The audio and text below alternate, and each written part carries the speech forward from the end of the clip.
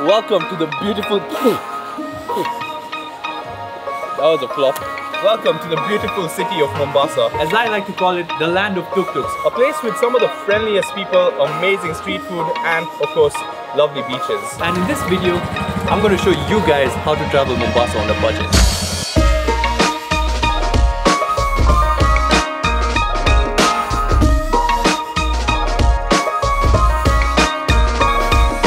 It's currently 8 a.m. and we're at the Syokimau railway station in Nairobi. So I've got my bags on me like a turtle shell, got that backpacker vibe going. we're late. Hurry up! Morning, Morning, how are you? I'm good. It's 2016, welcome aboard. Thank you. Last passengers to get on the train. If you aren't late for your train or your flight, are you really living life on the edge? Anyway, so basically what happened was they shut down the main highways in Nairobi, so there was like a lot of traffic on the other side roads. That's what got us late. well, anyways, guys, I'm picking up this camera after four months of not vlogging, so I might be a little bit rusty. So to get you up to speed, we are using the SGR train to get to Mombasa today, and one of the things with budget travel is you have to pay for it with time. So this train trip costs 1,000 shillings, but it's a six-hour journey.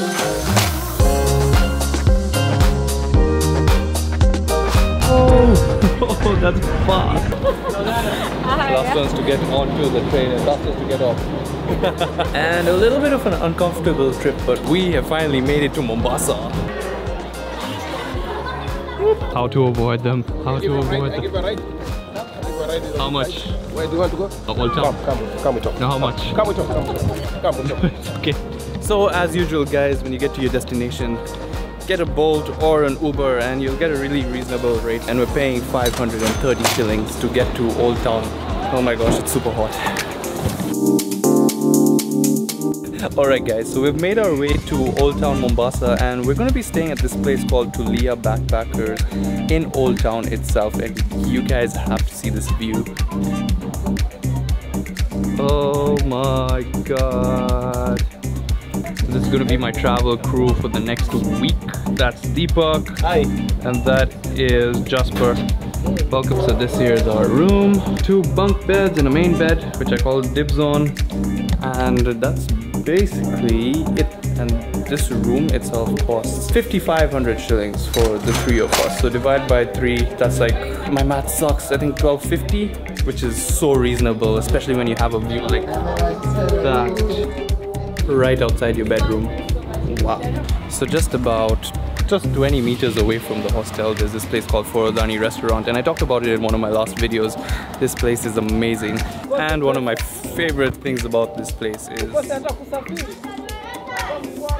that view though. So this here is the reason why we've come here. This is called chicken biryani, some of the best in Mombasa at only 450 shillings.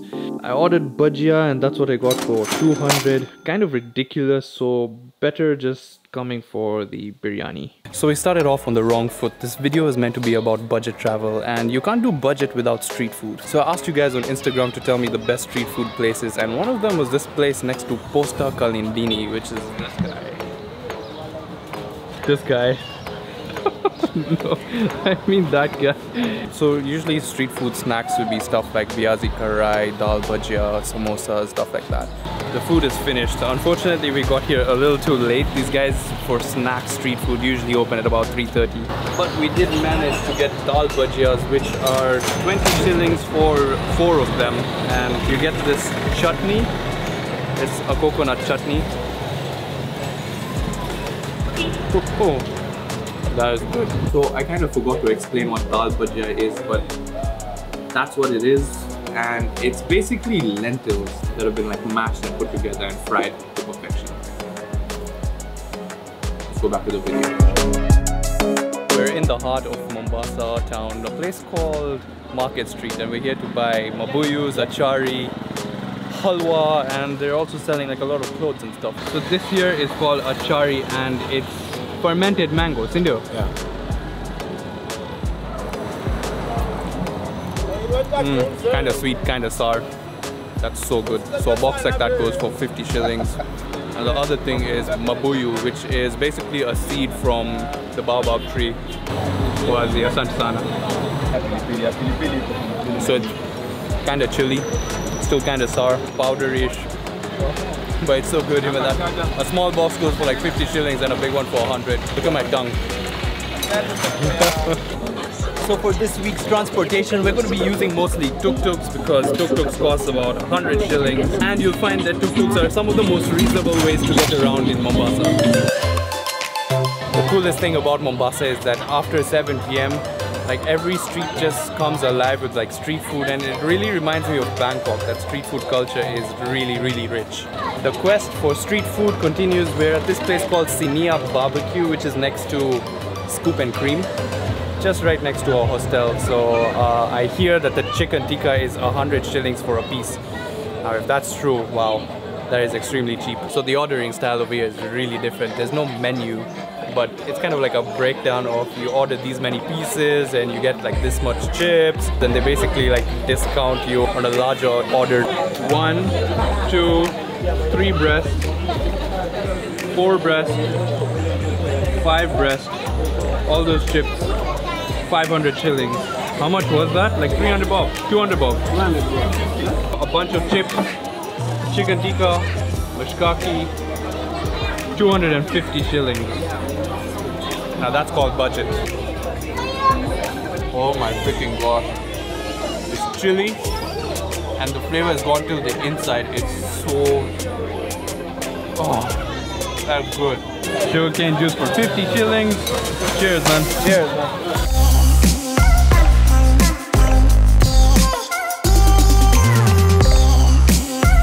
Good morning guys and welcome to day two here in Mombasa. So right now uh, we are going to search for breakfast. One thing to note about Mombasa is that if you want breakfast, you have to be up really early. So guys on the streets will usually start at about 6 onwards and the main dish, mahamri and barazi will usually finish by like, I don't know, 8 o'clock. So anyways, we're at this place called Mike's Cafe. It's a small place opposite Kanjoni School and apparently they serve amazing food. So instead of mahamri and barazi, we're going to be having something called Mombasa Mix. Kind of looks like cereal, but it's actually a mix of chevra and a sort of gravy with chickpeas. So the thing about food in Mombasa is that it's Swahili food and Swahili food has an influence of Indian and Arabian. That's why you'll notice that a lot of these foods have a lot of spices and we love spices. This is called viazi karai. It's basically a packed potato. Now the awesome thing about this is they put chili inside of it, then you mix it up with your coconut chutney and the chili. It's so good. We're currently walking through the streets of Old Town Mombasa and one thing that you'll notice is that it's very much like Zanzibar or even Lamu. So you have that sort of Arabic Swahili architecture going, the wooden door carvings and even the balconies look super cool. Another thing that you'll notice is that the whole of Mombasa was made to be painted white and blue but Old Town Mombasa is actually different. All the buildings here are either yellow or orange. The buildings are really old and you'll even notice that in the paint, the ripping off of the paint, the broken structures. And one of the things that is really interesting is this behind me. That there is actually one of the first hotels in all of Kenya, 1901. So this place is definitely full of history and if you just go down the road you'll actually get to Fort Jesus. We're not going there today but there is a lot of history there as well. We're seeing a lot of tourists getting tours from other people so that's also one thing that you can do. I'm not really sure about the price because we haven't done it ourselves. Um, but yeah, if you do get a guide to take you around you'll definitely understand more of the history behind this whole old town. We're just running through restaurants one after the other and right now we're back at this place called Damascus which I really enjoy coming to every time I'm in Mombasa. So we're here to have shawarmas and I've actually ordered the small one which is 200 shillings and it's basically like chicken and salad put into a naan or a sort of pita bread and it's like topped up with a lot of sauces so really good stuff here. Right next to our hostel here in Old Town Mombasa, there's this place where they serve kahawa, which is basically a kind of Mombasa tea. And right opposite is that. Beautiful. This here is kahawa, it's 15 shillings, kinda hot. Okay. Oh, oh, this is freaking unreal. A little bit of ginger, strong tea, nice and sweet. And right behind me down there, there's a bunch of kids who are fishing. They have these small fishing lines and they're just throwing them into the water, hoping to catch fish. Oh my gosh, these vibes, they're so amazing.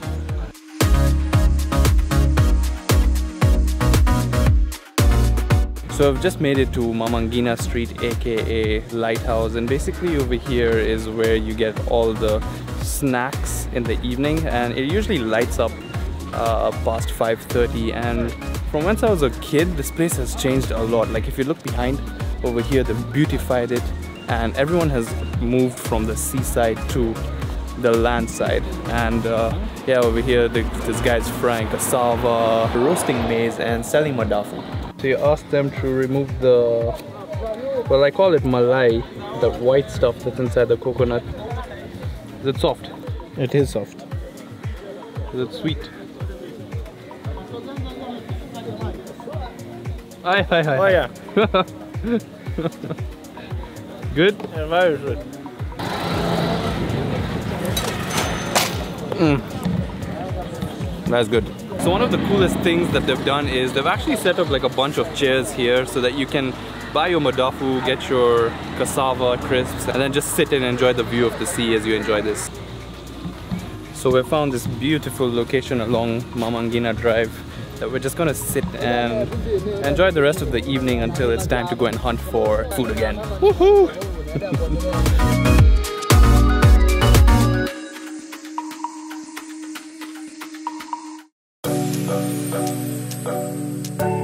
So we've reserved our final day here in Mombasa for the more adrenaline rushing activities and that's why we've come to Tulia Backpackers here in Nyali. One thing about this Backpackers is that it's actually bigger than the one in Old Town so they actually have a restaurant, bar and a pool. One thing that I will mention though about budget travel here in Mombasa is that it's more of like a you get what you pay for thing. So like the last two nights it was super hot in our rooms. The first place that we stayed at there was no AC and over here the AC was actually busted so we had quite a hard time sleeping. How you doing man? Tired man. Last night was hectic huh? man. Well, because we didn't wake up early, we missed the chance to have Mahamri and Mbaazi. So, like the lazy boys that we are, we've come to Java, which is right across the road from where we're staying, and it's more of a safe spot. But after all that money that's been saved, why not?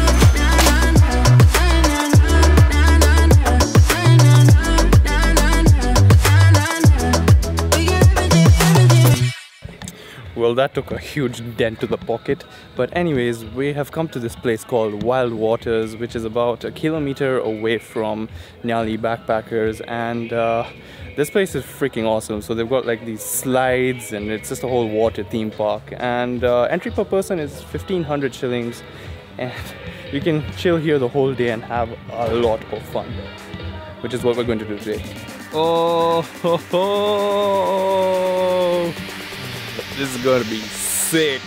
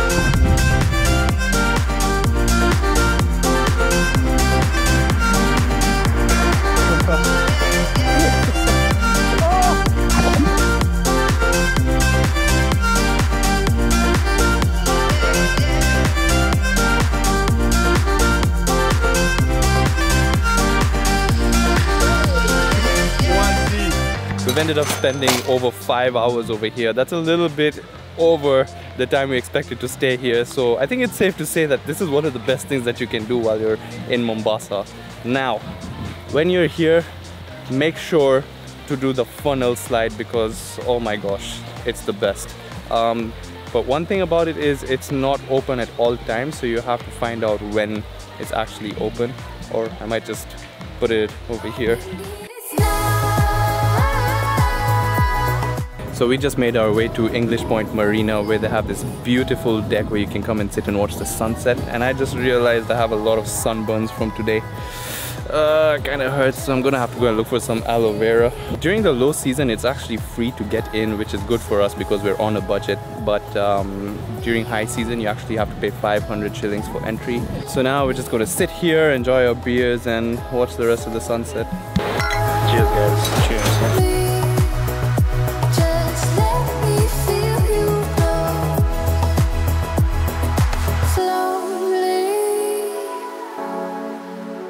Final night, final street food here in Mombasa, and we're at this place called Remani's, which is opposite Nyali Cinemax, which was one of uh, the recommendations we got. And what they do is they make stuffed chapatis, and uh, they stuff it with one of three things that could be eggs, keema, that's mutton, or paneer. So it's actually served with chilies and salad. And all this is for, well, one is for 300 shillings. So I ordered the one that has mutton and Pete ordered the one that has egg and paneer. So let's try this out. huh? Spicy from that sauce and it's really good. It's crunchy on the outside, soft on the inside. Oh my god. Oh, hi, oh, hi. so good. What do you think? It's sweet. I don't usually ask Jasper because he doesn't speak much. I hope that changes soon. Remani's was definitely a 10 out of 10, but before we leave Mombasa, we decided to come back to Sinia Barbecue to get a last taste of their chicken tikka because it's so. Mwah. Oh. Oh my god.